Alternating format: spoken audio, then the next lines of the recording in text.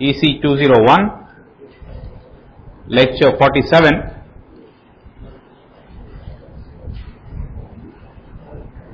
So yesterday we were looking at transfer functions which will give you low pass character and for the special case of all pole second order low pass filters the transfer function is of the form s by omega p the whole square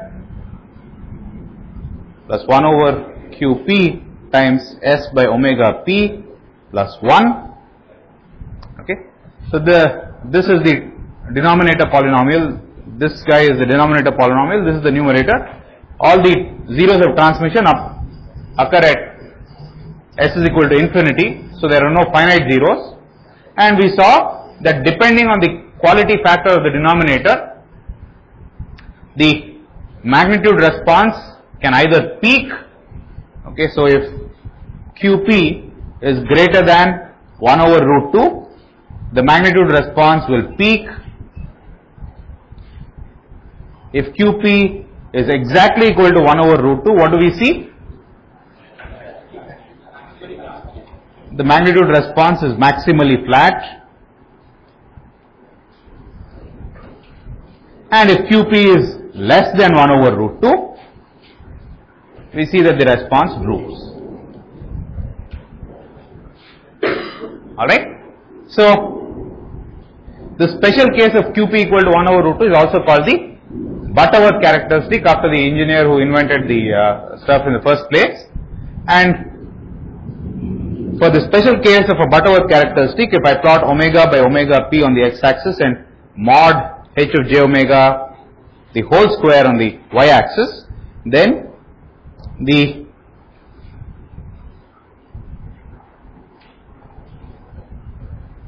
the half power bandwidth or the 3 dB bandwidth occurs at omega by omega p equal to 1 which is equivalent to saying omega equal to omega p.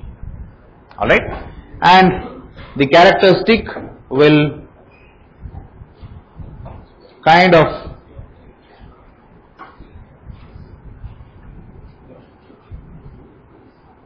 hug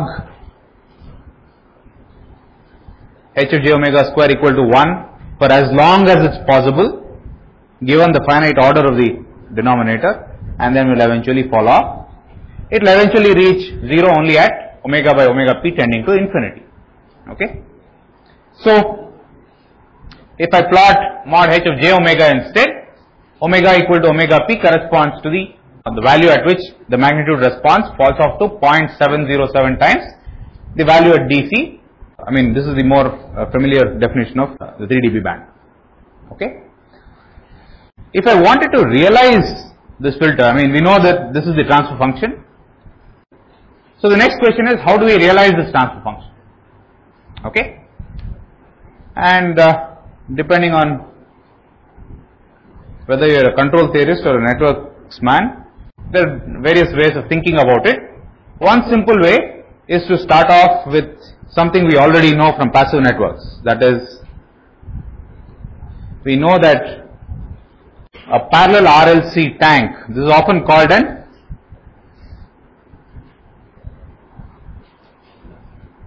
LC tank. LC and R are in parallel, it's, it's a parallel RLC tank.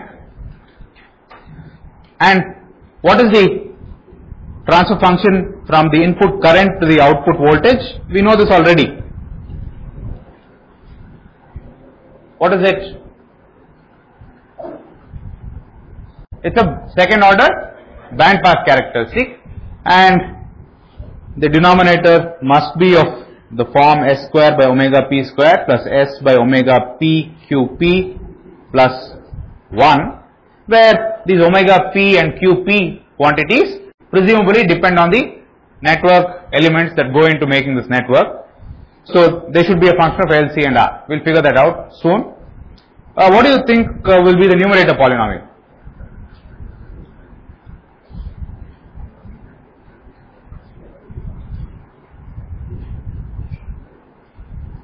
What is the maximum voltage possible at the output? Pardon? It's in into r. So what must the, uh, the numerator polynomial be? At omega equal to omega p, the L and the C resonate. So all of this in flows into r. The transfer function magnitude must be r. At omega p, this guy and this guy cancel off. Alright. So what must be the numerator?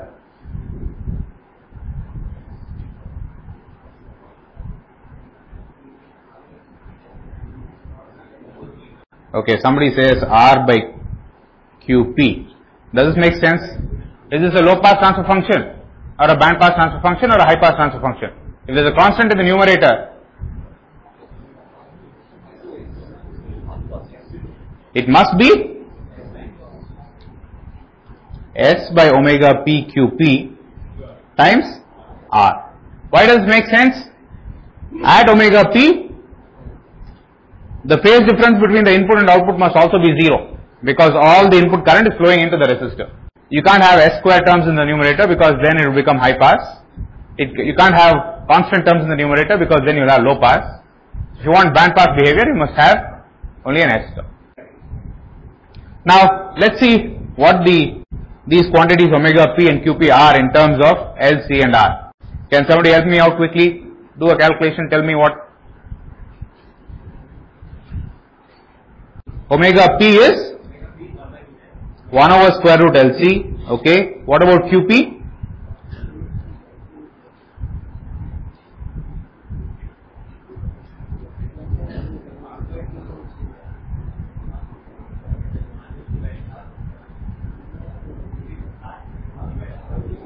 R divided by square root L by C. Square root L by C has got dimensions of resistance. So, R by square root L by C is a measure of the quality of the tank. This tank would be completely lossless if R became infinite, it became an open circuit. So, R must be in the numerator. That's the output voltage. What about the inductor current? So, the output voltage is a band pass transfer function. What about the inductor current IL?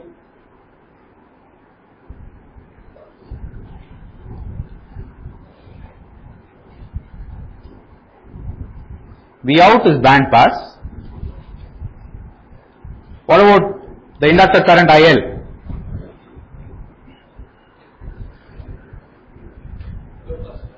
IL is low pass. And what about the capacitor current? Is high pass. Okay. So please bear this in mind that even though the transfer function from the input current to the output voltage is band pass, if you found some way of measuring or converting the inductor current into a voltage, then you'd be able to realize a low pass transfer. Alright, so let's figure out how we can do this without inductors and using only op amps R and C.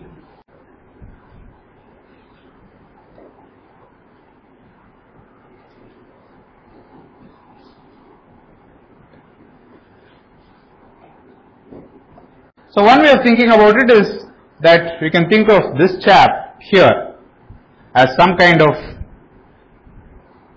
impedance Z and you're passing a current Z through some kind of band pass impedance and generating the output voltage. I mean you can think of this as some kind of current controlled voltage source though the input uh, impedance or nor the output impedance are 0. Okay, an ideal current control voltage source, the input impedance would be 0 and the output impedance would be uh, also 0. Here neither of them is true, but you could for example, from your knowledge of op amps, also conceivably think of it this way, which is if this was I,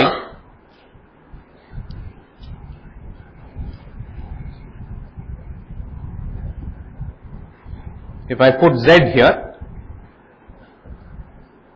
then what will be the output? It's simply I times Z. We have seen how this comes about. Why would I be interested in practice uh, in getting the zero output impedance?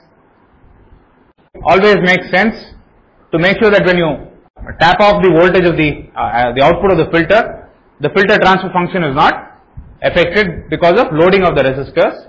So having a zero output impedance is a good thing to have. And this gives you a way of getting zero output impedance. So conceptually, one could get a band pass filter with zero output impedance if I did the following, which is replaced. So this is V out, this is R, this is C, and this is L. Correct? The ratio of output voltage to the input current is exactly the same as it was for the passive net. The only difference being now that the input impedance is 0 and the output impedance of this filter is also 0 unlike in the passive case. Does that make sense? Now the only fly in the ointment is the presence of the inductor and we like to figure out some way of getting rid of the inductor. Alright? And you could get rid of the inductor by making a couple of simple observations. What is the current through the inductor in terms of V out? The current in the inductor is nothing but V out by SL. Okay, and why is that so? That's because the inverting terminal of the op amp is virtually ground. Alright? In other words, these two potentials have to be the same. The non-inverting terminal is grounded, which means that the inverting terminal also must be ground. Alright? Now, if I somehow removed the inductor, but continued to pump in a current equal to V out by SL, alright. The op amp and the capacitor and the resistor won't know. They don't care whether there's an inductor or Superman doing the job as long as the current coming in there is V out by SL. Alright. So, in other words, if I somehow put in a current here which is of the form V out by SL where V out is this character here, then it is equivalent to having an inductor in the feedback path. Does that make sense? Alright. In other words, I need to pump in a current which is controlled obviously by V out, but in what way is it controlled by V out? This current is is proportional to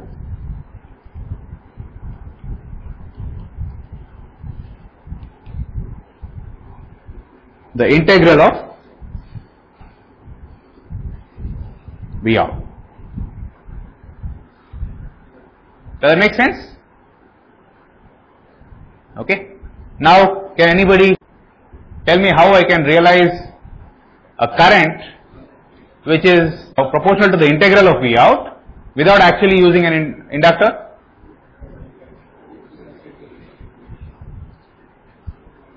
Yes, what? what? If we somehow generate a voltage which is the integral of V out and connect that voltage to a resistor, then you will be able to get a current which is proportional to the integral of V out. Is that clear? And we already know how to generate the voltage which is the integral of V out and what, and what is that? Can we generate a voltage which is proportional to the integral of V out? What do we do? Okay, so we already know how to integrate a voltage.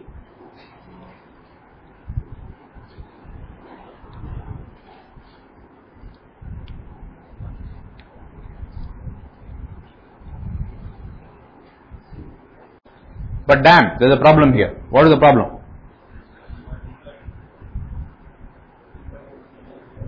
If this is R and this is, let me call this uh, C1. Hmm.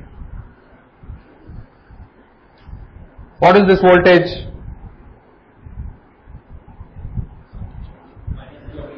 Minus V out by SCR. But what do we want? We want plus V out by SCR. So what should I do? Put an amplifier of gain minus 1 in the, in, because there is no space here I will just denote it by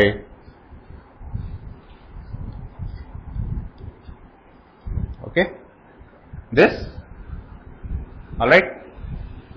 So what is this voltage now? This voltage got to be plus V out by SCR alright. Now I need a current to flow into this node which is proportional to the integral of V out. So what should I do? I know that this is anyway virtual ground, right? So this is uh, zero potential. So if I simply connect a resistor between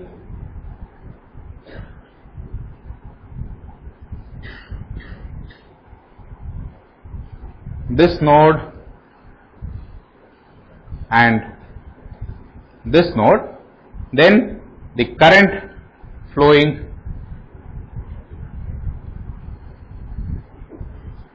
this way is V out by S C1 R square. Does that make sense? This contraption is doing the job of an inductor of value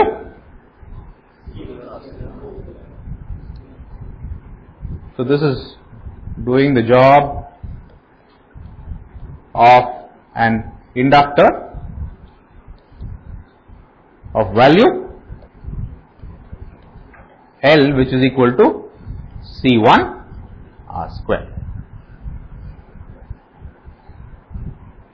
Does that make sense? Okay. What can you say about this voltage?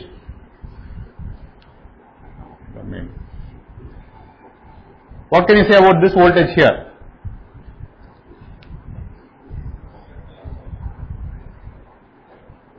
So this voltage is proportional to the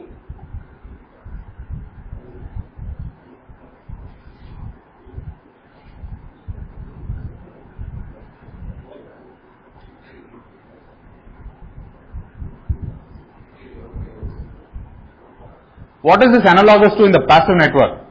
This current, this current is analogous to the inductor current, alright? And that's, that current is being generated by taking some voltage and passing it through a resistor. So this voltage must be proportional to the inductor current with the appropriate dimension. That's all. Okay. And what did we say was the inductor current? What kind of transfer function was it? It was low pass. So which means that this voltage must be also low pass. Is that clear?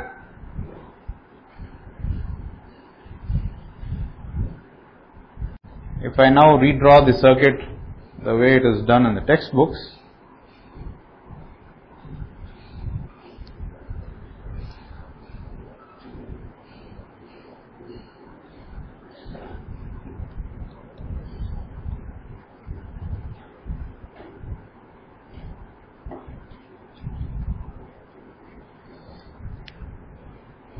I will copy paste.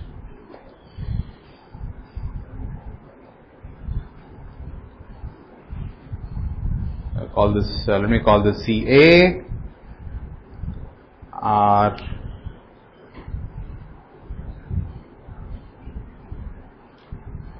This is I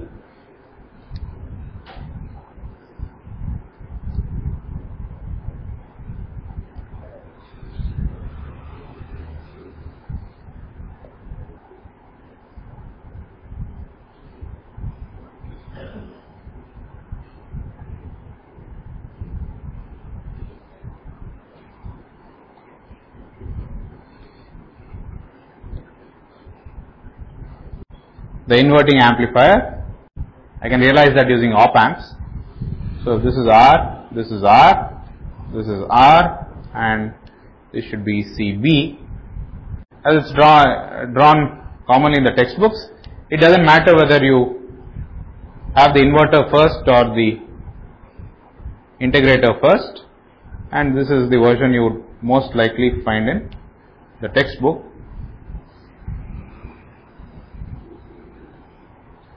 So this is R, this is CB and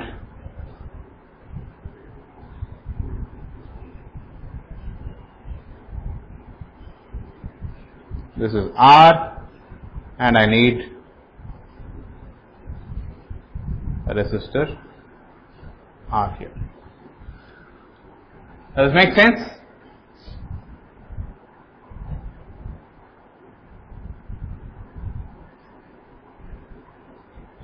Uh, so this is the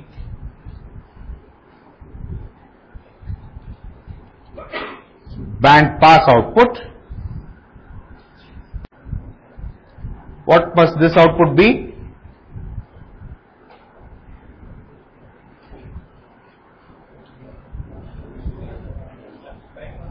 This must also be band pass, but this must be minus 1 times VBP.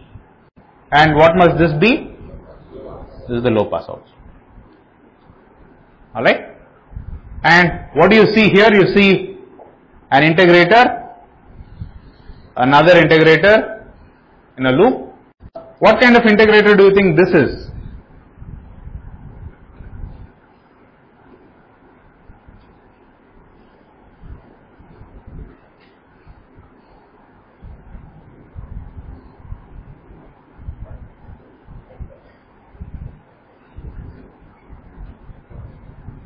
What is the job of an ideal integrator?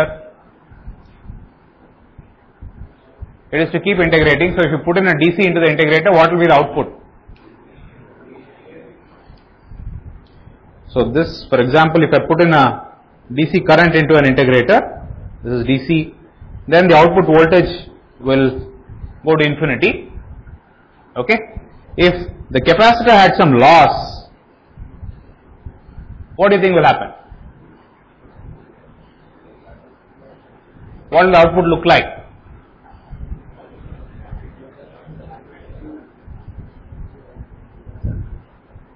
It will saturate somewhere and where will it saturate?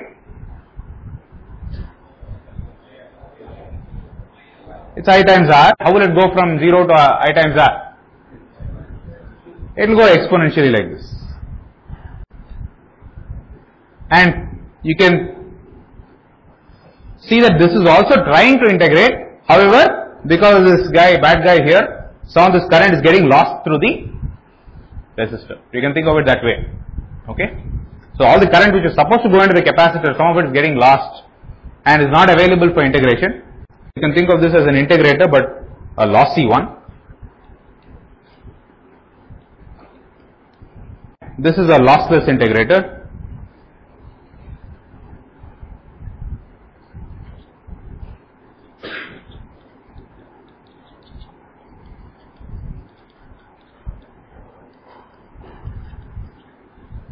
Okay.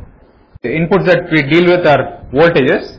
If you had a voltage input, then one thing you can do is put V in.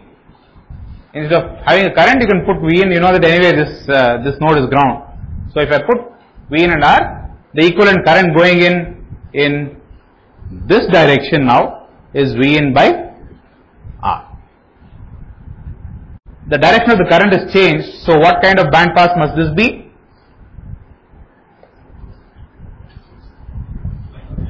So this must be an inverting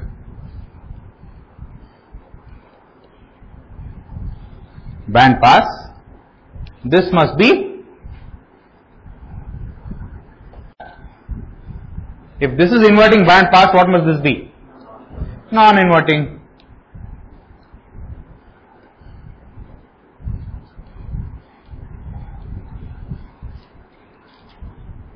band pass in which case what must this be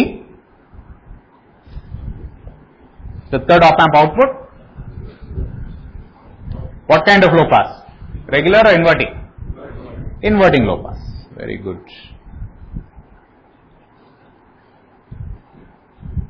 This was synthesized straight out of the LC network and we know what the omega P and QP are for the LC network. So what happens, what is omega P now? Is 1 over square root LC and what is L, what do we need to substitute for L and C? L is nothing but CB times R square and what is C? Instead of C you must put CA which means that omega P is nothing but 1 over R square root CACB. Dimensionally, first thing to do is to check that it's dimensionally correct. That's obvious in this case. What is the quality factor? QP.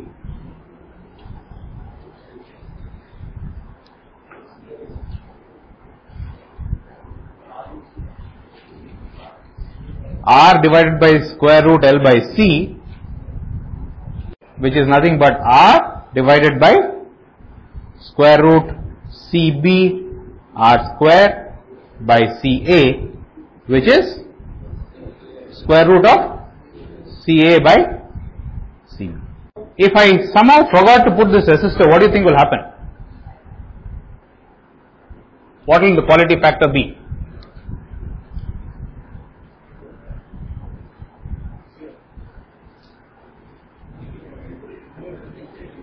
it will be infinity because it's like having a lossless LC network. Instead of calling this R, if I call that RQ, the quality factor will be RQ divided by square root of R square CB by CA which is RQ divided by R divided by square root of CB by CA. The quality factor is a dimensionless quantity, so it must only depend on ratios of like elements. So it must be a function of the ratios of resistors and ratios of capacitors. Okay. Now, a common thing to do is to want to have as identical values of capacitors as possible. So, a common choice makes CB equal to CA equal to C which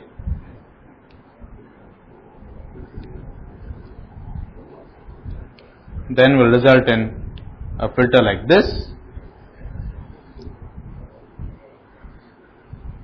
And in which case omega p is simply 1 over RC and QP is nothing but RQ by R. Just put CA equal to CB in that earlier set of equations, alright, and in which case you can simply draw this as RQ which is nothing but Q times R. So you can see that both the capacitors are identical, all the resistors except the damping resistor. This is often called the damping resistor because the impulse response would be completely undamped because the poles would lie on the j omega axis and the only resistor you have to set other than all these identical values is this damping resistor here. So if I call this VBP and VLP, VBP by VI of S is nothing but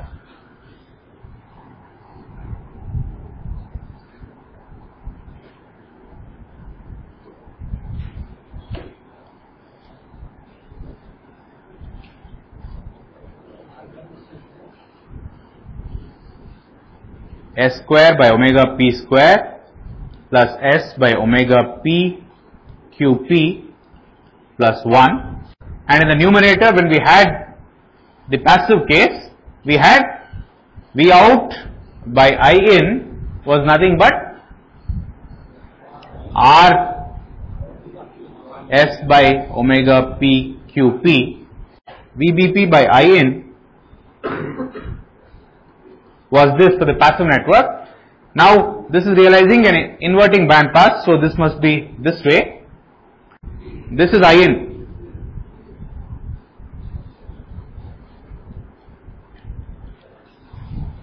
So I in times R is V in. So I can move this guy here.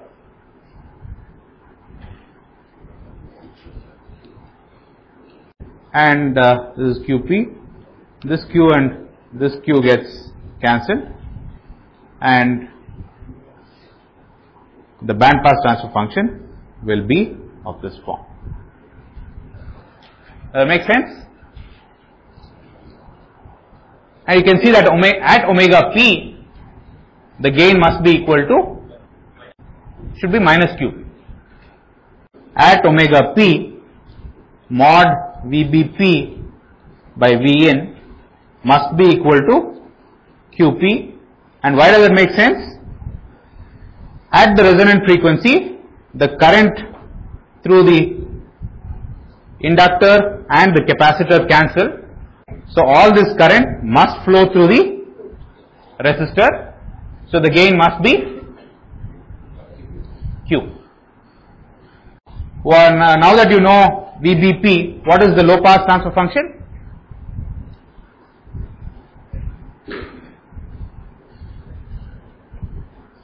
VLP of S by Vn of S must be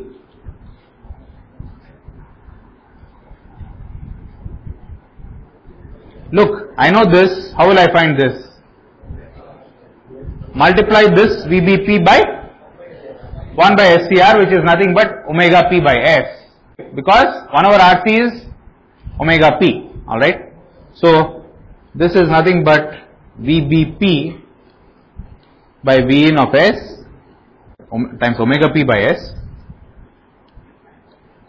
which is nothing but minus 1 divided by S square by omega p square plus S by omega p qp plus 1. So what is the DC gain of the low pass filter?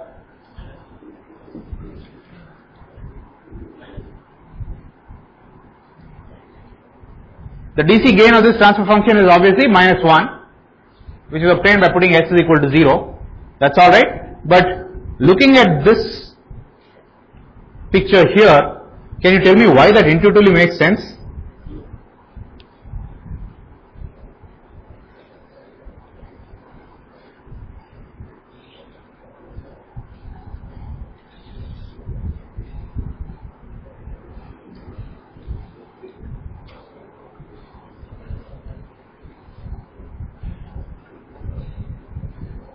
For DC, what happens to the capacitors? Open.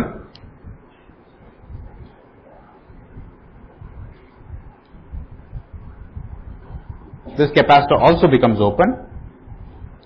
Alright. So, this is the equivalent network for DC. Can you make any comment on this character there? If I draw a big triangle like this, what does it mean? You can think of this as one single amplifier with a very large gain because the gain of this whole chain is minus 1 times some large number corresponding to the gain of this op amp times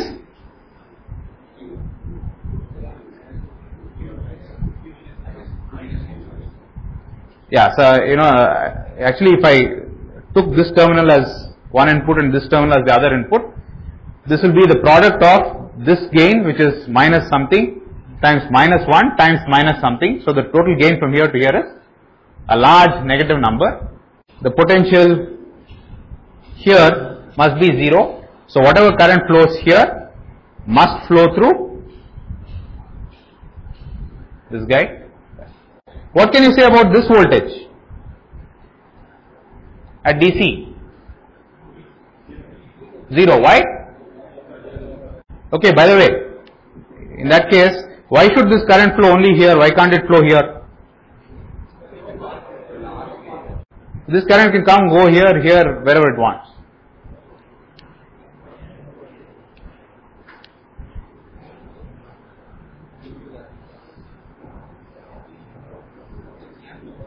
Yeah, it, okay, then some, now somebody says it can go there. In which case, If all this current doesn't go into this resistor, then the DC gain can't be minus 1. So can you tell me intuitively why at DC, why is this voltage 0? Okay, one uh, good observation is this is a band pass output. We have done this, we have derived this as a band pass output, so at DC this must be 0. But another intuitive way of looking at it is that at DC, if this is a finite voltage, this gain is infinite, which means that this input must be 0. If this input is 0, this must be 0. Alright? If this is 0 and this is 0, the current flowing here must be 0, which is why all this current flows through that resistor. So, it makes sense that the DC gain is minus 1. If I wanted to increase the DC gain, what could I do? If I wanted to keep omega p and qp the same, but if I wanted to increase DC gain, can you suggest a change which are? All these are R's only. If I wanted to keep DC, uh, the uh, omega p and qp the same, but change the DC gain, one suggestion is increase this guy. Does it make sense?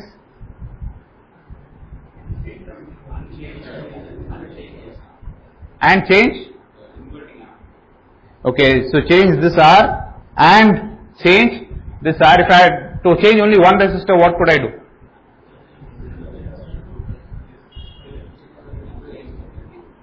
If I only change this resistance here, it will change omega p and qp. Why? Because it's changing the equivalent value of inductance. So if I wanted to get a larger DC gain without fiddling around with omega p and qp and if I had the freedom to only change one resistor, the easiest thing to do is to change this resistor because this is simply equivalent to pumping in more current into the same impedance. If I call this R divided by G, then this will give me a low pass filter with DC gain equal to minus G.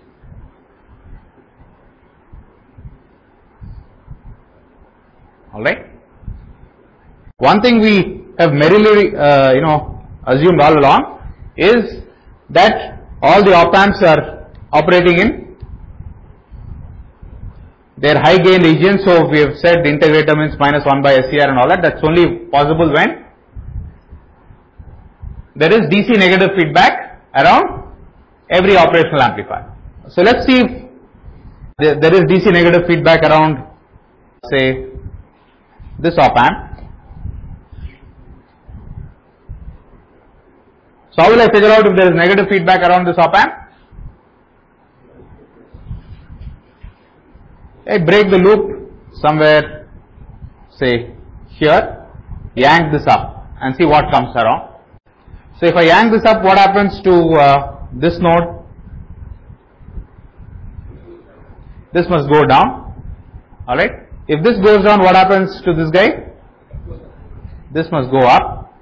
If this goes up, what happens to this guy? Must go down. So there is indeed negative feedback and the signs of the op amps are correct. Does that make sense? So let's say we didn't know anything about filters and we were given the schematic. And the question now is go and figure out the signs of the op amp for negative feedback operation. So how will you proceed?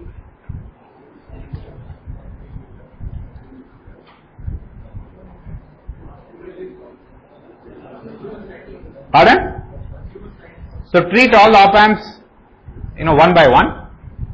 To figure out the signs of this op amp, we can assume that the signs are right for the other two op amps and proceed.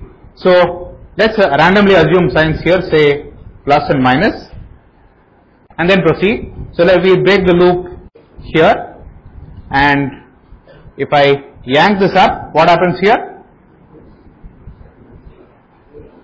This must go down. If this goes down, what must happen here?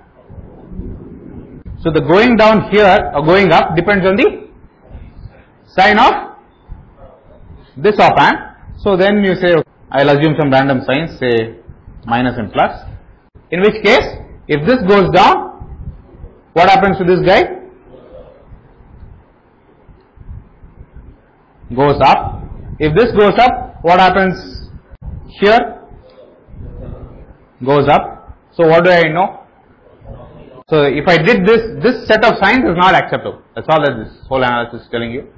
One way to fix it is to do. You understand? When you have multiple op amp circuits, you to be very careful as to how you fix the signs. And the clean thing to do is to assume that when you are dealing with one op amp, you assume that if other op amps are in neg local negative feedback, like this one here, then there is no confusion at all. Okay. On the other hand, for situations like this, you can assume random signs and proceed, and eventually you should end up with a whole bunch of consistent signs. Okay. So the bottom line is to note that for the signs that we discussed, that we derived, so this is minus, this is plus, this is minus, this is plus, and this is minus, this is plus. If you break the loop anywhere, you will find that there is DC negative feedback around every op amp. So the quiescent value at the output of every op amp will be somewhere between VCC and VEE and thereby all the transistors inside the op amp will be operating in the active region thereby ensuring that the gain of the op amp is very very large. And if the gain of the op amp is very very large then all the standard negative feedback theory holds and you know this uh, the fact then you can use the fact that this potential is the same as this potential and no current flows into the op amp. So whatever current is there here will all flow through the feedback resistor. Does that make sense? Alright, so